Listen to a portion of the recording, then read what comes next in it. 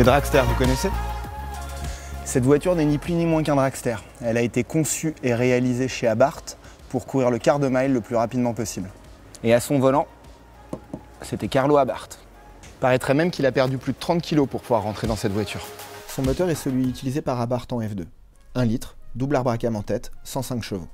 Elle pèse 500 kg à vide et son réservoir est vraiment conçu pour des records courts. Le 20 octobre 65, Carlo Abarth est au volant sur la piste de Monza.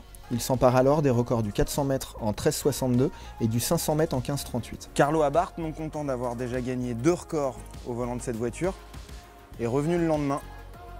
Il a changé de moteur et il en a battu deux autres dans la catégorie du dessus.